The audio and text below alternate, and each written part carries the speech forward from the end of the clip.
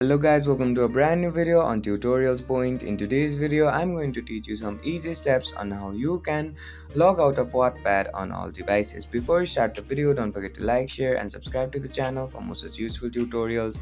Without further ado, let's move on to the video.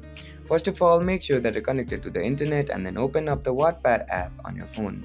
After you're on the home page of the Wattpad app, make sure that you're logged in and then click on the profile icon on the top right corner of your screen.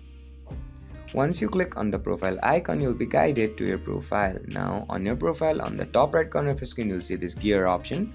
Go ahead and click on it, which will guide you to another page. Now, on this page, click on this account settings option. After you click on the account settings option, you'll be further guided to another page. Now, on this page, scroll down and find this password option.